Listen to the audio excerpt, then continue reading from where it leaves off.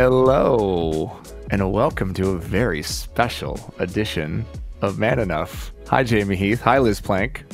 Hello. Oh my goodness, I get to see Liz. Look at Liz. Look how Hello. look how just Look like sweet and wonderful. She's got athletic greens on. We've done ads for them.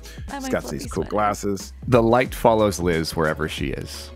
It really Aw, That rhymed. so sweet. Jamey, you're the only one who doesn't have a bun. I know, but I'm the only one on the about Man? Enough set. I'm on the set, by the way. And this is an, a special True. episode we're doing, so I can tell you both that um, you're both fired. Love it. We're canceled. We've been waiting. it's just been a matter of time. Um, so we're doing a very sweet episode of Man Enough right now, where uh, instead of just the normal like recap, New Year's resolution, hashtag, you know, New Year, New Me thing, we thought that it would be really nice for us to like have an honest, vulnerable reflection. And we've gotten so Mhm. much great feedback. We've had so many amazing comments and messages, and people reach out to us. We just thought that we would just go in and talk about what it was like to really learn in real time together. You know, we said that early on that this is going to be a show where we follow our journey and we learn in real time, and we're not always going to agree. And we've done that. And here we are going into a new year. And what a perfect time to take a breath and think about everything we've talked about and all the incredible guests that we've had and the lessons that we've learned and the insights and the knowledge that we've gained. Mm, So, with that, mm. shall we dive in? Let's Do let's it. do it. Let's go. You know, we've had some amazing, amazing people um, that we've been able to interview and learn from, and who have also contributed to the to humanity in so many ways. Um, one of them, my goodness, being Alok. Many of us don't know who we are outside of what we've been told we should be. Trans people, we know who we are. And that's where we're being hunted because we literally chose authenticity in the face of adversity. Mm, I have to deal with extreme scrutiny of my mm. life everywhere I go. Why am I doing this? I'm doing this because I know the power of authenticity. And that's what trans people teach men, cis men, is there's nothing more powerful than stepping into your truth. And that's what the healing is going to take in this world is if we stop living someone else's fantasy of who we should be and we actually get intimate with who we actually are. How I think if we said, incredible are they? I think if all of us individually, like, were blindfolded and put in a room and said, "What's one of your favorite episodes?" We'd all say Alok. For Hands sure. down. I mean, how could For you sure. not? Our listeners and beyond our listeners, I think one of the favorites is Alok. They are Mhm. just um, incredible. Why, By the way, they they just uh, came out with a poetry book. what? Yes. Yeah, oh, they it's coming out. that. Yes. You got a book Oh yeah, from Alok? I got a book from Alok. Uh, Yeah. Yeah. I want. I want one. I'm going to take All right. yours. The majority of people are ready to heal, and that's why they repress us as trans and gender variant people because they've done this violence to themselves first. They've repressed their own femininity. They've repressed their own gender nonconformity. They've repressed their own ambivalence. They've repressed their own creativity.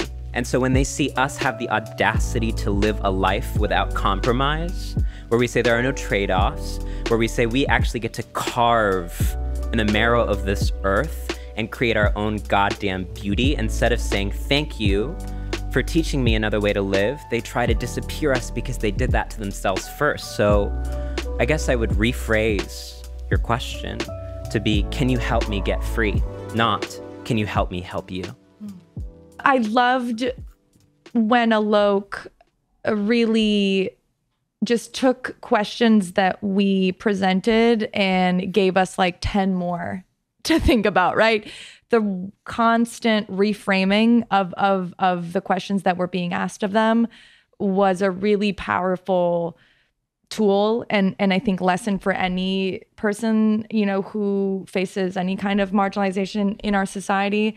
Uh and their ability to reframe themselves um not as a victim not as a right um as someone who needs to be healed but but sort of asking you what do you need to be healed right? How do you need to accept yourself if you cannot accept me?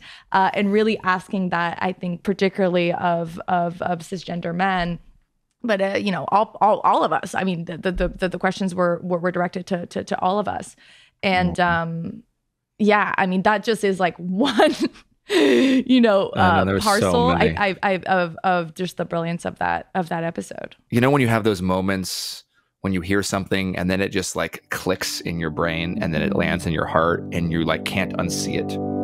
The focus has been on comprehension, not compassion.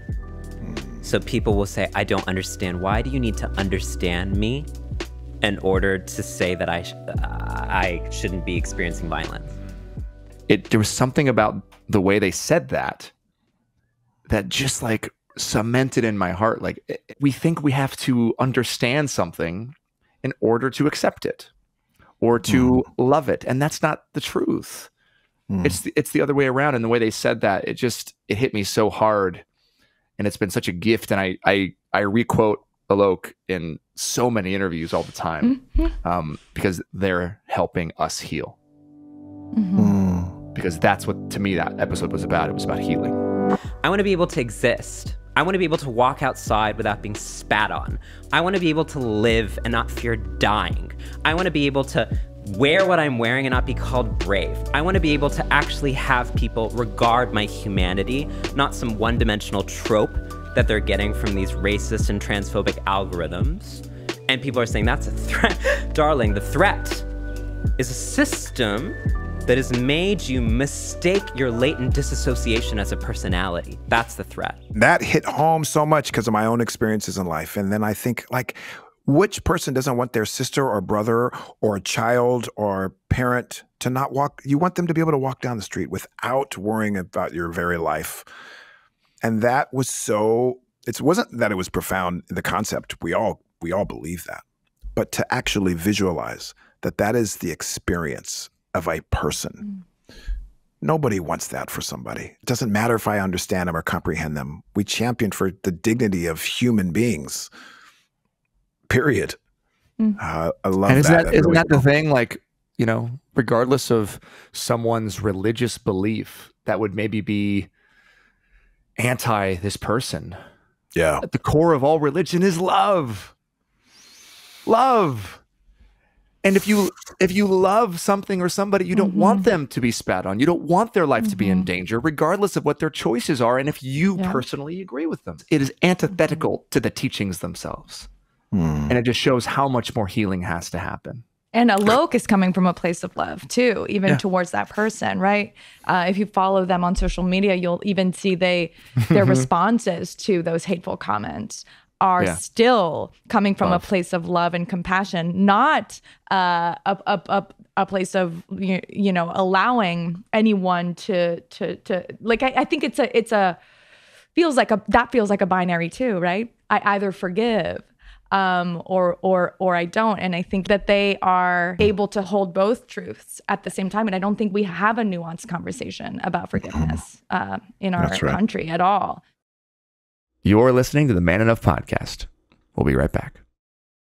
And our next partner has a product that I literally use every day. I do start my day every morning with athletic greens because I am lazy. Yes, I can remember which supplements I'm supposed to take, which ones are, you know, what, what they mean, if I did take it, if I forgot to take it. So with athletic greens, I just wake up in the morning, I scoop an entire delicious green powder into a large glass of water and then I've hydrated for the morning and I'm ready to go with all the vitamins that I need. And so what what's in this uh, green powder? Well, with one delicious scoop of athletic greens, you're absorbing 75 high quality vitamins, minerals, whole food sourced superfoods, probiotics and adaptogens to help you start your day right. And this blend of ingredients supports your gut health, your nervous system, your immune system, your energy, recovery, focus, aging, all the things. And we know that with flu season coming up, all right, or I guess we're in it. Um, with holiday gatherings, you want your immune system to be fully ready to defend you so that you can just enjoy and be merry. So, to make it easy, Athletic Greens is going to give you a free one year supply of immune supporting vitamin D and five free travel packs with your first purchase. So all you need to do is go to athleticgreens.com slash man enough. Again, that is athleticgreens.com slash man enough to take ownership over your health and pick up the ultimate daily nutritional insurance. All right, welcome back to the Man Enough podcast. So often we just need to be able to hold space for each other. And one of the things we talk about on this show is what's a safe space for men? It's a space where we don't attack each other. It's a space where we hold each other accountable and through love and understanding and compassion, ask each other to look at some of these areas that maybe we're not looking at. Mhm. Right. From our conversation with Emmanuel Acho. I just I I don't second guess me. Yeah. I- But let- you let don't- me- yeah, let- you don't seem like somebody that So let me, um, uh, so forgive me. So I'm just going to challenge you a little bit. Please. All right. So I hear all that, and that's great. What I feel is a little bit of armor on, right? hmm A lot. Um, okay. Take your arm off, bro. I have sacrificed a lot of fun and pleasure and maybe potential joy for the sake of not failing. If y'all really want me to get transparent, the real transparency is I've sacrificed just being free for the sake of not failing. Cause I'm not even lying.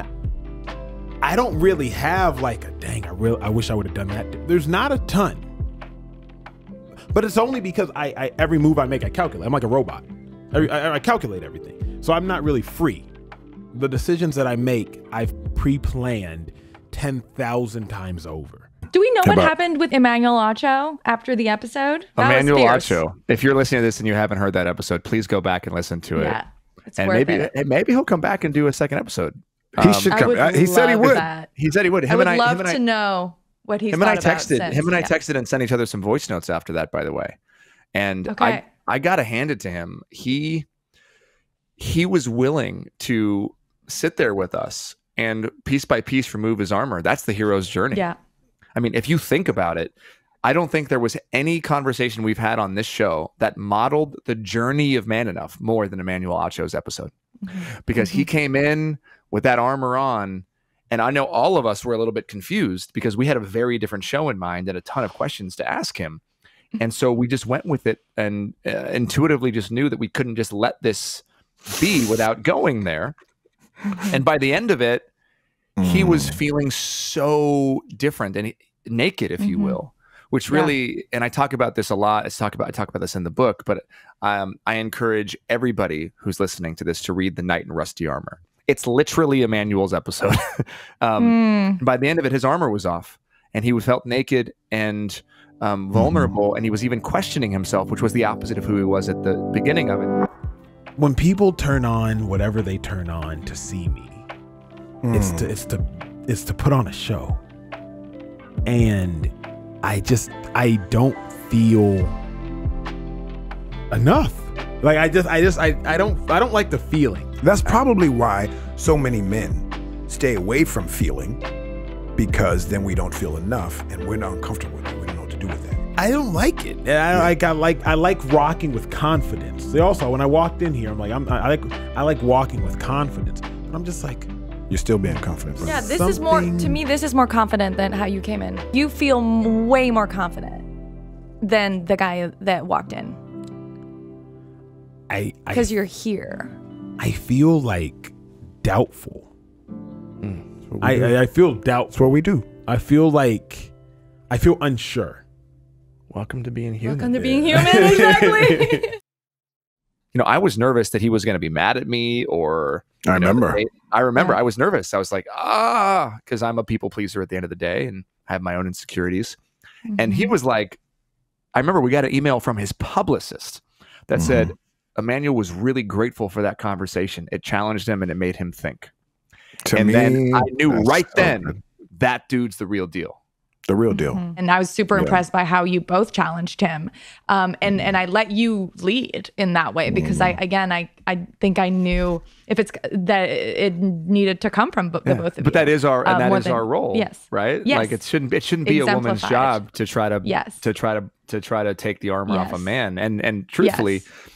For anybody listening, this is what that episode reflected is very much the relationship that Jamey and I and our small Yeah. group of male friends have with each other. What you witnessed was that's how true. we hold each other accountable and challenge each other Mhm. in private.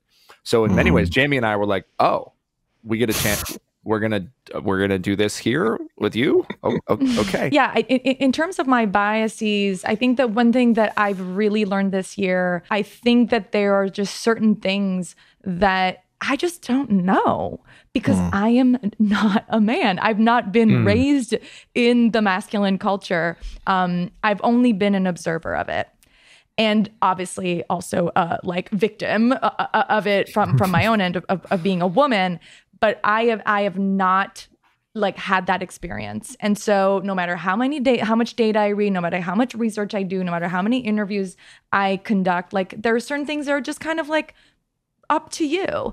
And um, not up to me to necessarily not only you know have the answer for but but also i think comment on. And that was one of my favorite episodes because i think it was the most honest and real in terms of why we started doing this work. That's what that episode reflected and i really hope that yeah. um, people stuck around and listened to the whole thing. Yeah. Indeed. Loved. Um so you had mentioned like why we do this um, has this been a successful year thus far? Mm-hmm. We set out to do something um, that we weren't sure exactly what we were getting into, other than we knew we wanted to touch the hearts of people, and um, and yet we're doing work that's not always so popular.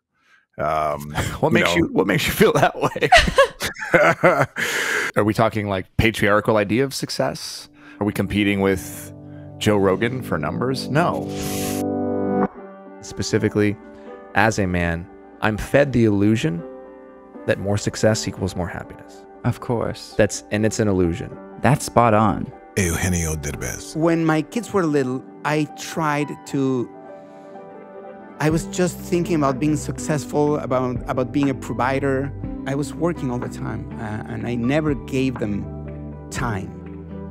Mm. And I think that's the most important thing you can give to a kid: mm. time, quality time. Rainn Wilson. I think we inherit it. There's societal pressures about what makes success. I mean, there was a very long period of my life that the entirety of my self esteem, I'm talking about all of it, yeah. was uh, my success in work. If things were going well in work, then I felt good about myself. Mm-hmm. If things were going bad in work, then I felt bad about myself. Mm-hmm. So if, it's been a long part of this therapeutic process. It's been a long kind of untangling. That. Matthew McConaughey. I think it's a word that we all need to unpack. Yeah. What's our world tell us is successful now? I'm not for filling your bank account at the expense of your soul's account. For me, success has always been is there a person out there who depends on us, who has had their perspective change, whose life has changed? Is there a couple who has gotten together, stayed together? Is there a man who's entered therapy? Mm-hmm. That is success. From our conversation with Russell Dickerson. Absolutely, I believe in therapy. That's been a huge asset to us. Uh, we when, when we were in quarantine, you know, we we hopped on Zoom with our counselor and did marriage marriage counseling right there, hmm. and uh, absolutely believe in counseling. You believe in therapy, which I love.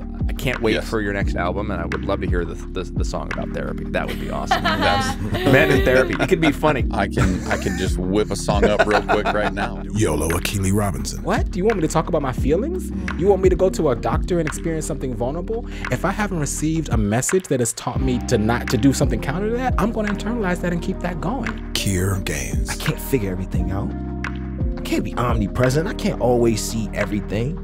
And my therapist helps me with that. Therapy is also a lot of work. And it's a lot of opening doors that your mind has purposely kept shut. I don't want to know what's in that closet. What's going to fall out of there? what am I going to have to change that I'm not comfortable with? Sam Baldoni. We just push things back because we don't know how to approach certain things. And I think that today, the therapy that we've all been going through has been helping us, give us tools. These are tools that you can learn um, that I never had access to, and I never even thought about it because I always thought that I was fine. And Justin, I am so curious because you uh, you had two very intimate episodes with your dad and with with uh, Emily, your wife. So, what happened after those episodes? How did those mm. episodes sort of change anything um, for those relationships? Well, first of all, those I feel so damn lucky that I got to have my dad on the show. For years, I just wanted a dad. I didn't want a business partner. I didn't want to talk about work. I just wanted my daddy. And I think that's something that a lot of men experience. Us being together and me just wanting to like put my head in your lap. That 10 year old. I feel like a little boy. Yeah. Because sometimes as a man, I still feel like a boy. And I don't have anywhere to go. And I don't want to put that on my wife. I don't want it to be my wife's job to make me feel like a man. And while I still have you here, thank God I do, I'm so privileged at 37 to have you here. I don't want to spend the next however many years like not feeling close to you. There's a difference between feeling close to you in proximity and feeling close to you um, emotionally. And that's what I desire. And if I can do that and if I can model that for my kid, then that's all I want. I want my kids to feel close to me. I love you. You too, Daddy. I love you, son. I, I got so many uh you know men who told me like I, I i was bawling my eyes out during that Like that was such a special moment, I think, for both of us. Um, and you look, it's it's it's a tiny part of the conversation, right? Um, but the fact that he was willing, that I have a father who's willing to sit in that seat, he just shows me that it's never too late. This whole idea of you can't Mhm. teach an old dog new tricks is bullshit, and my dad's defying all of that. Um, and we've just been getting closer, and it's really, really sweet. And yeah, no, it makes me emotional even thinking about it. Um, and I'm just feeling so damn, so damn grateful. And with my wife, um, you know, I don't know if I've been more proud uh, as a as a partner than like getting a chance to hear my wife just say things that I think millions of women just felt like she was speaking for them. I, I work with so many women that just that are new mothers that don't they don't they are so let down by the patriarchy and society today and it is heartbreaking because these women fathers too but mainly the mothers they are raising the next generation which is a big fucking job. Excuse my french. The most massive job you could ever imagine. Like I- know no woman speaks for all women, but I cannot believe how many women have come forward saying like she speaks for me. And that felt like a conversation that I wish my man could hear. And how many women are sharing that with the men in their lives being like what she says is what I feel and not having that mm. space to share. And and I just like I remember sitting in that episode and thinking to myself like I don't know what I did to deserve this but I can't believe you're my wife. what about you jamey? One of the things I got to experience recently is do something that I had not done before. And that's from our conversations about um, how to demonstrate to our next generations how to be better than what we are.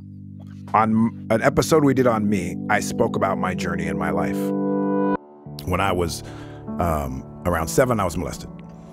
Then it happened again when I was around 10, and that lasted for four years or so. I never thought I was molested. I just thought um, I was engaged in activity with another man. then I got around 15 years old, and then I started uh, um, spending time with a woman that was uh, 30 years old at 15, 16 years old, and being engaged in sexual activity. And I thought it was cool. Um, after about two years, that lasted.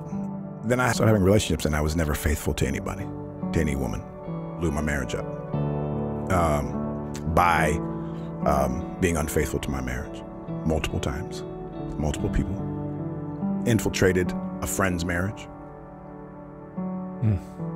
I don't want to conflate my choices with abuse and my childhood trauma because that is abuse when you when you hurt someone like that. Recently, um, I have been shamed. I will leave names out, but by some individuals that were um, a part of that history in my life, um, who sent me horrible, um, very the worst. hurt, hurtful messages to me. Um, and it made me feel really angry, gaslit for talking about my childhood and what happened to me. And then I was in a lot of pain. Um, Justin was one who was here for me during this this time, as was my wife and a couple others. I have I don't think I've ever seen somebody go through literally being gaslit handle it with such grace. Like he went through the gamut of all the feelings and he allowed himself to feel, which is not something that we do as men. He allowed himself to cry and break down and feel rage and anger and all of the things and still in his heart found love and compassion. What's crazy, I'm sorry to go on about this. This is what's crazy. This is what happens in our world. Is along the whole way, I've done everything I can to protect those that hurt me. I just think of how many people have to do, go Mm-hmm. through that. How many times, Liz, that you have been gaslit for feelings that you feel, and then you have to protect and worry about family members or friends of family members and all this to protect others instead of being able to someone just say, I'm sorry, I hear you, be accountable. Uh, but what I got to do as a parent is when my son, who's 18, saw me debilitated for five days, I couldn't move. Um, I was frozen because this is what happens. It makes me angry for women who have been oppressed for years and years and years, and nobody believes them and no one listens to them. And then we victimize them and then we make them go on a stand to prove it. And then when it happens, the person that hurts them, there's no accountability to them and all the stuff. Like this just happens over and over and over again. But with my children, they got to ask me what's wrong. And I got to tell them. I didn't tell them the details they didn't need to know. I got to tell them your dad's in a lot of pain because someone's not being very kind to me. And they weren't kind to me when I was younger for and now I'm they're not being kind now and it's making me very sad. And they got to like process it with me. And I didn't have to pretend that I was some man that was too macho to be vulnerable. Um, I don't know if I would have done that before our podcasts, um, before our conversations, seeing other people being willing to be vulnerable, hearing stuff from you, Liz, more than I've probably expressed to you how much you've uh, had a big impact on me. As I know I've stated that, but maybe not why. And to, to anybody listening, um, our heart goes out to you if you've been in a similar situation, and that's why we're doing this show. is- That's right. And that's why I say it, so that it's not about me. I'm not saying it for my own protection. I'm saying it for Yeah. all of our listeners who who relate to your experience, Justin, and yours, Mhm. Liz, and mine in different ways. That to not feel that just because you ruffle some feathers along the way by doing your truth and doing the work, um, to not be discouraged Yeah. Yeah. by it. Yeah. From our conversation with Jay Shetty. There's a beautiful statement by Russell Barkley where he said that people who need the most love often ask for it in the most unloving ways. And I think what it means to be man enough is to be able to approach everyone with that love, recognizing that the pain they're causing you or anyone else is coming from a place of them being unloved at some point in their life. Karamo Brown. Broken crayons can still color. And I thought about all the things that have broken me as a man, that have made me feel like I had to be a certain way, act a certain way. Um, that I realized that even though I felt broken, I can still color in this. I can still color this world magically in a beautiful, vulnerable way. Things have been rough. I've done wrong, but I can still color and make things beautiful again um, for myself and for others. When was the last time that you apologized to someone? Oh, every day. Every day. Love that. Um, I, I like I think I think it's important to if there's ever an action that I think or assume could have hurt somebody to apologize immediately. It- it is this admission because I think so many times as men we're afraid to admit the parts of ourselves that we need to heal from and grow through to be better for ourselves and for our families. I'm always telling my, my kids, uh, it's a joke, but I'm always telling them, don't make the same mistakes. Because, and what about you, Dad? I, I made all these mistakes just to show you what you shouldn't do. So Only for that reason. I sacrificed myself. I ruined my life for you, just to be an example for what not to do in life. So we've we've just had so many amazing conversations. I feel like all of them I could say are my favorite. Um, How about if we did like quick some rapid fire about like guests like Kier Gaines, Glennon Doyle, Dr. Joy DeGruy? What's the first thing that comes to mind when you think of Keir? I think it's a cultural piece. Sometimes you can't beat what you don't see. We're coming off of the hills two generations back where per, I, I don't, can't tell you my grandfather changed the diaper. I can't tell you my grandfather sat down, looked his wife in the eye, and said, "Hey, what's going on?" You're becoming your own yeah. role model. Yeah, right? You had to become the man that you didn't have. especially if you want to find a male role model that kind of exudes all of these great principles that are expected of men in today's society. I think of Kier. I think role model. Role model. I think daughter. Mhm. How much he loves his daughter, what he does for his daughter. Love it.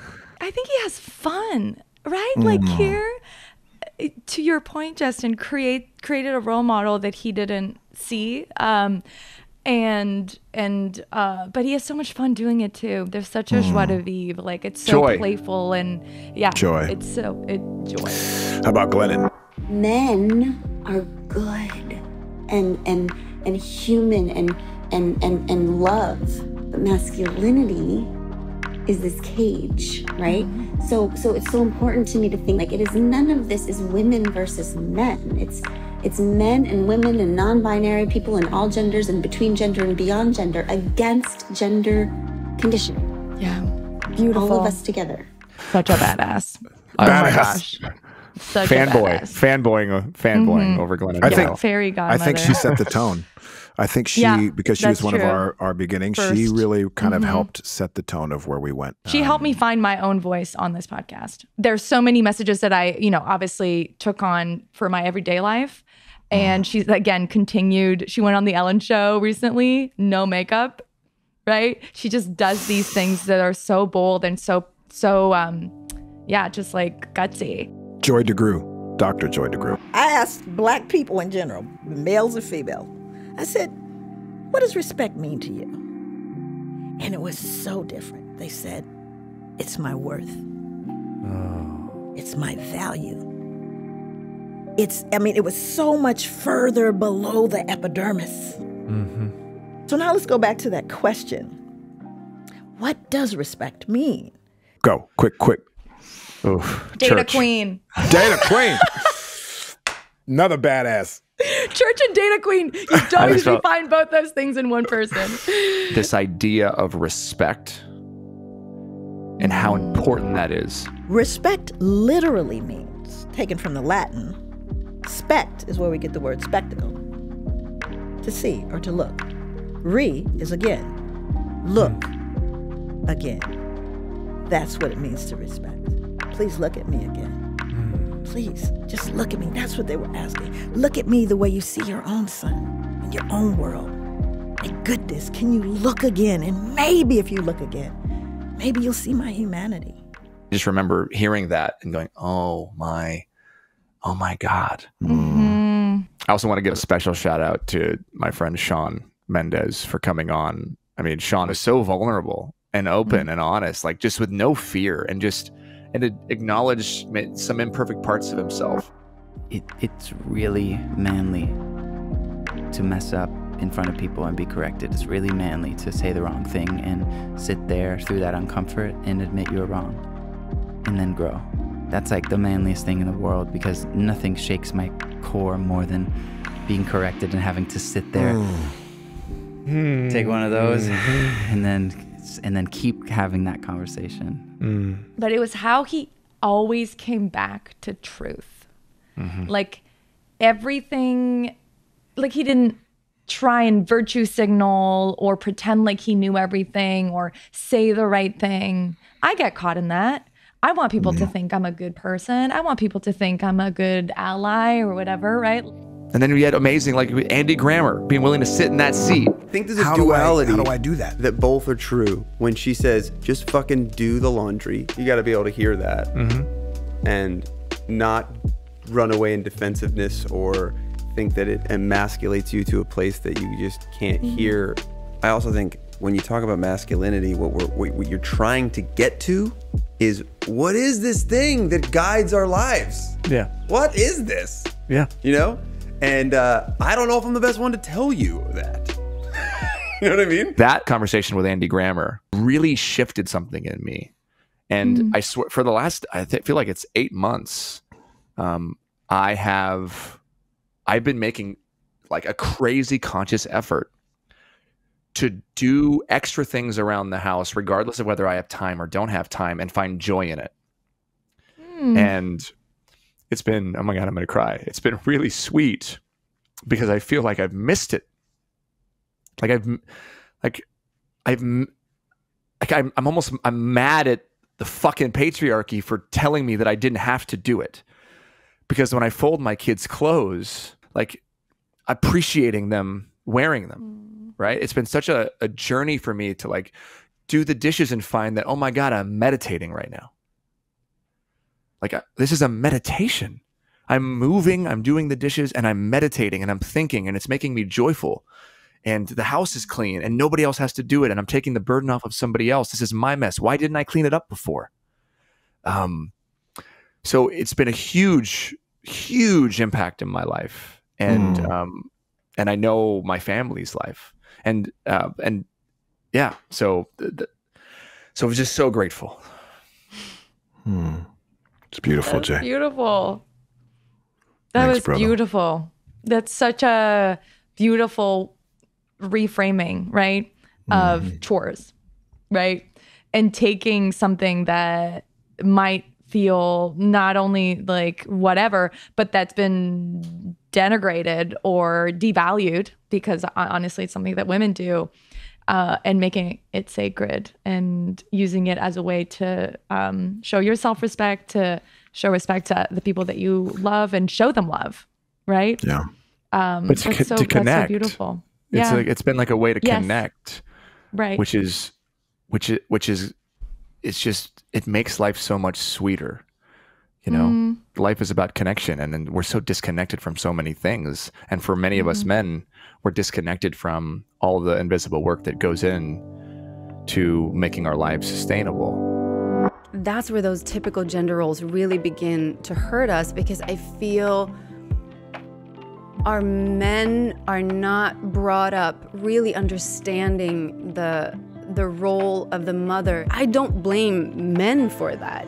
I, I, I just blame the system. I blame the patriarchy. Little Rel Howery. He went downstairs, and we ain't never seen this man cry before. So you never seen your dad cry? Never seen him cry before. He put her jacket on instead of his, and he could smell her scent. Uh. and he just, but we never seen him cry, and we didn't even know what to do with that. Actually, mm. in that moment, also I realized my mom was all of our emotional, vulnerable connect. Mm-hmm. So that's what we all would be vulnerable around at our own time. So when she was gone, we didn't know what to do with those emotions. Mm-hmm. Actually, Should we share some fun stories? What are some What are some things that were I don't know really inspirational or moving or fun or do, do we want to talk about stuff that people don't know about?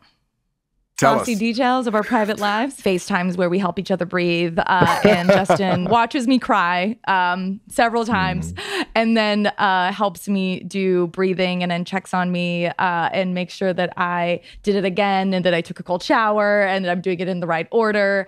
I um, downloaded this app, the Wim Hof app, because of Justin, and now have recommended it to so many different men because you're right. It's very it, it's changed the advice that I give to to men and and in terms of mental health and even again the way that I approach my mental health. Uh, I think an overtly very traditional feminine way of doing it is like talk about your feelings and just feel your feelings and like yes but also breathe and and like alkalize and just like there's some things that can and took a really cold shower that's really painful So have and you that wait, have, have you actually done the cold? Have you been doing? I did you everything the- you told me to do. I, I, I did everything you told me. So for some backstory, And- by the way, by the way, I, just so everybody knows, what this is not. This is not like a thing that I'm not Liz's coach. Like we, this is not a thing where where the I'm like, do this, Liz, jump in the cold shower. No, there were the, there have been moments where we have been there for each other, and Liz has been there for me emotionally.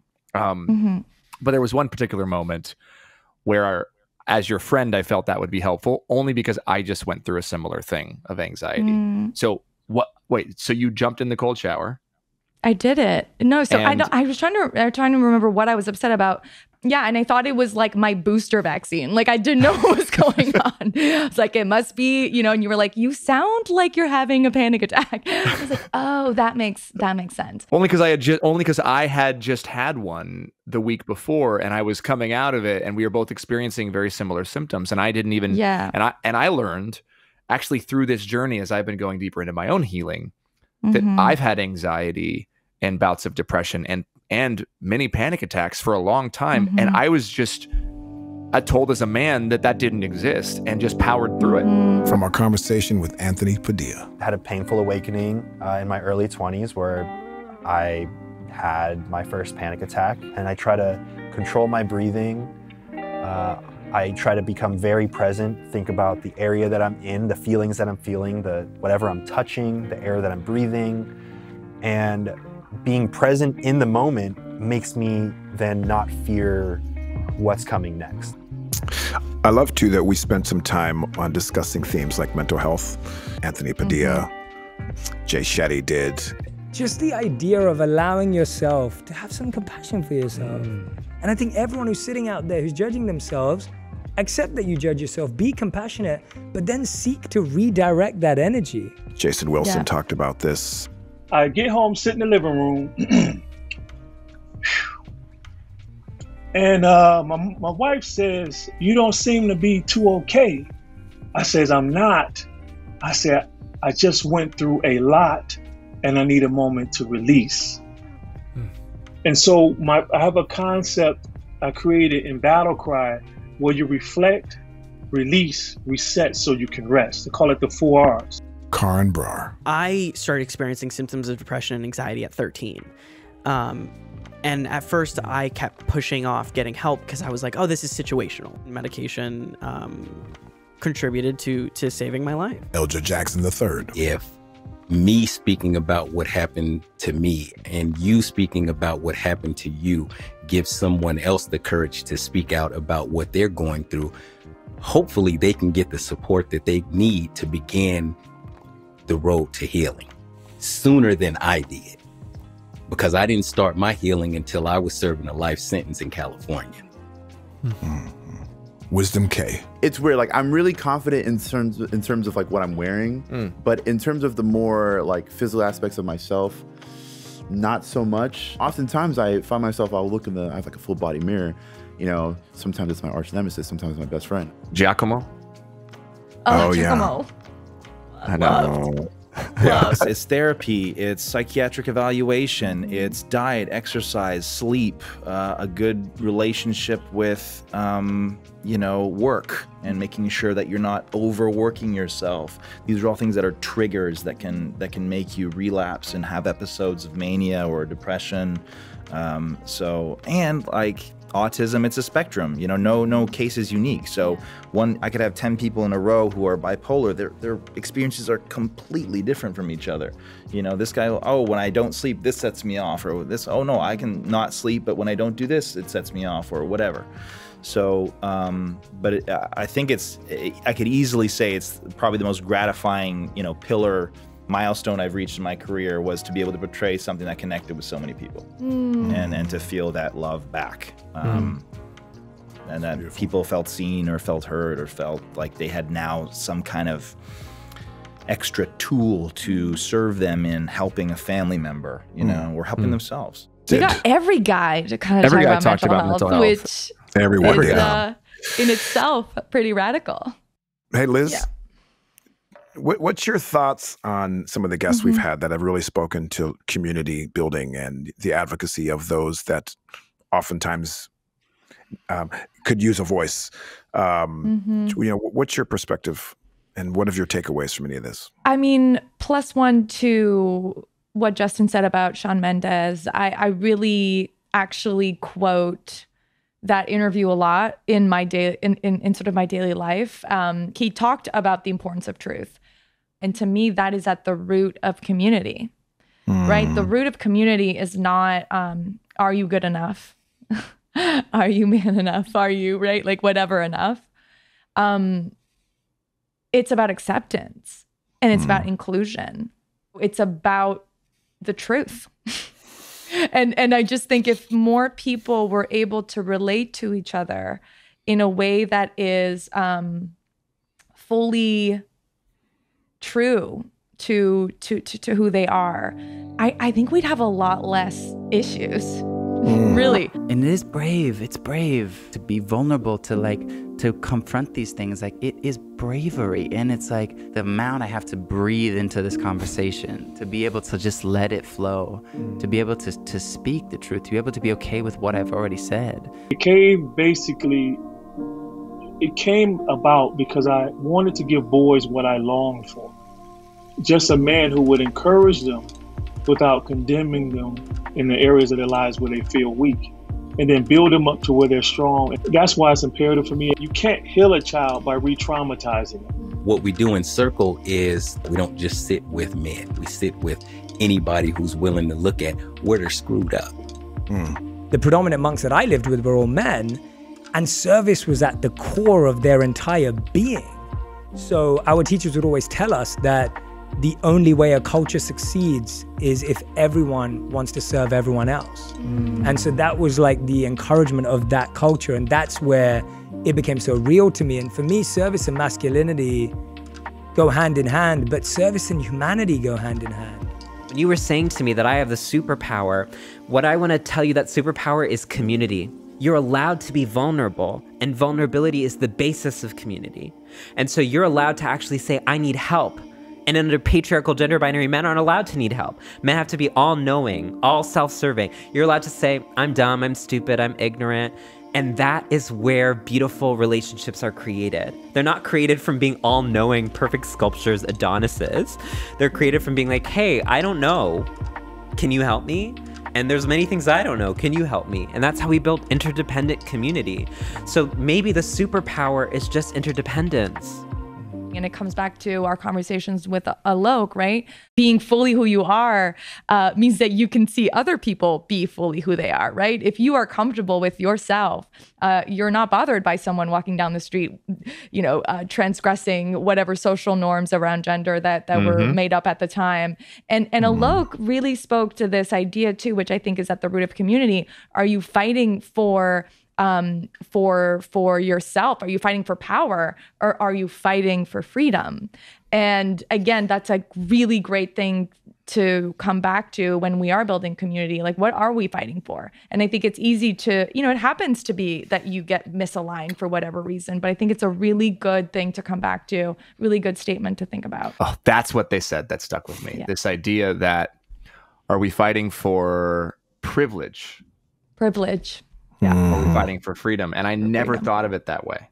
As, as someone who sits at the top of that privileged uh, intersection of power, that food chain, right, as a straight white cisgendered male, um, it's so it's just something that I've never thought of. mm-hmm. So it's so cool to see you, Liz, kind of like embody that. I love hearing you talk about that truth, Liz. I just love it. I have been extremely touched by a lot of the feedback about the podcast, and I know you have too. We did that live, which where everyone was crying, um, with with with listeners who have been touched.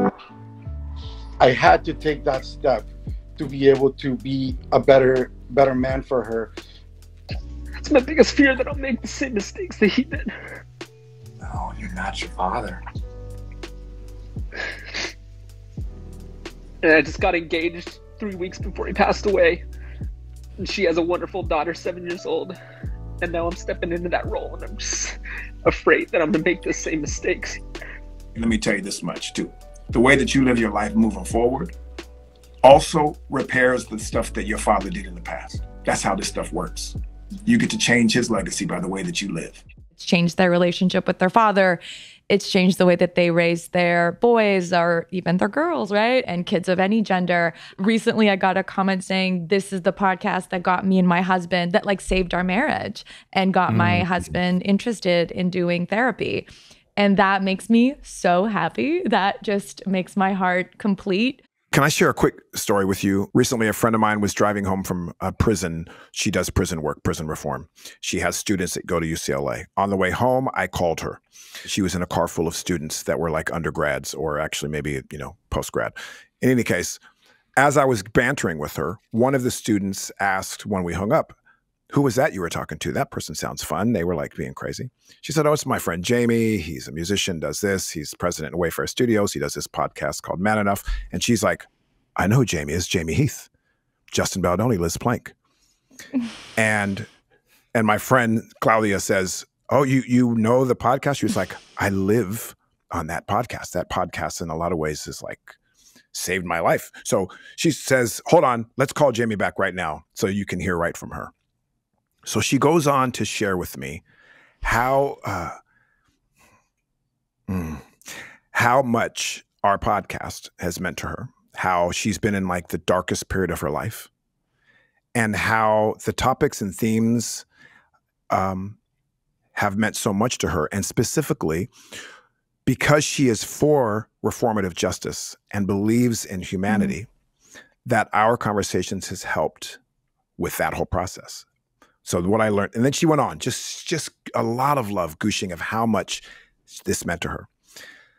I learned later, after talking to her, that she was one of the people in the synagogue a couple years ago that happened in Long Beach when a person came in and shot the place up, and she witnessed her mother die in front of her. And the dark place she was speaking of was this recovering from this very horrific event. Um, and she went on to say how much the podcast has meant to her. She's she still believes in reformative justice, even the person that killed her mother.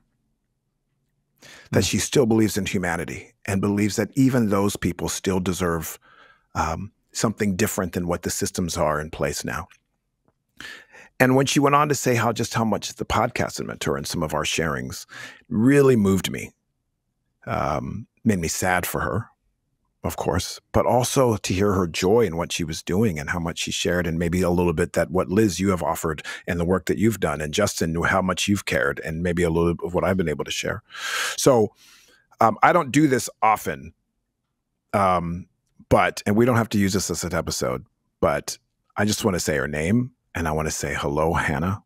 Hi, Hannah. Hi, Hannah. And we want to say how much um, it's meant to us to know that our podcast has meant a little bit in your life and that you are in our prayers mm-hmm. and we mm-hmm. love you and you are going to be a kick ass rock star in this world um, because of what your journey is and what you care about mm-hmm. and where you're mm-hmm. dedicating your life to. Um, so the Man Enough podcast wants to give you our love. Um, mm. Yeah, that, uh, that made us cry. Hannah, we love you. Thank you. Mm. Thank you for listening. Thank you. Okay, so we're just gonna read a few um, few public posts here, posts that were made about our podcast, um, which are really sweet. Because yes, we've talked about the things that we've learned, our challenges, but it's so great to celebrate the good. And I just want to end this episode on us celebrating some of the good that uh, that this podcast has done that have come from I think our collective vulnerability. So this particular post is from a woman named Margarita Rodriguez, and she wrote on YouTube, "I need you all to know that watching this conversation is healing for the rest of us who cannot have those conversations yet or ever." I love how Justin describes that each generation is trying to do better. Thank you for letting us see your tears. I appreciate this podcast so much. Mm. Oh, that's sweet. You got another one? Beautiful. Thank you, Margarita. So, after watching therapist, influencer, proud husband, and father, Kier Gaines, Juan Galvin posted on our YouTube. Lately, I have been feeling lost, been working on myself and wanting to be better, but it is hard when making a mistake and feeling I'm still not the best version of myself. Thank you for this. It truly helps to remind myself that I am enough and it is okay to make mistakes and continue learning. We love that so much. Mm, one. Yes. I love it. Amazing. Look forward to the next mistake. Make better mistakes tomorrow is my yes. That's right. whole motto. All right, we got um, one from I'm not sure who this came from, Stephen Kelly. After Jamey's my episode, Stephen Kelly commented, Thank you for teaching us how to start making spaces safe, not only by words, but by showing us what one looks like. Jamey, that was an amazing display of vulnerability and personal accountability. A great example for others. This is a great episode to see where you are all at with the work you are doing so that we all know that there will be days like today that are uncomfortable. But in that discomfort is where the work gets done. Amen to that. That is where the work gets done. That is. Um, Stefan or Stephen, I'm sorry, I don't know how I would say your name. Thanks for sharing that with us. And um, I appreciate you, brother. I think that was I think that was really beautiful. Okay. So, guys, this has been so amazing to, to see you guys. It is a pleasure and honor to do this with you. I'm so glad to Same. see you. Um, Thank I can't wait till we we get back together in person and get to do some more episodes. But in the meantime, thanks for today. And to, Thank to any of you who are listening and who've made it this far, uh, be kind to yourself, be gentle with yourself, and remember that who you are, as you are, is enough. I'm Justin Baldoni, I'm Liz Plank. I'm Jamey Heath. And this is Man Enough. Man enough. Mhm.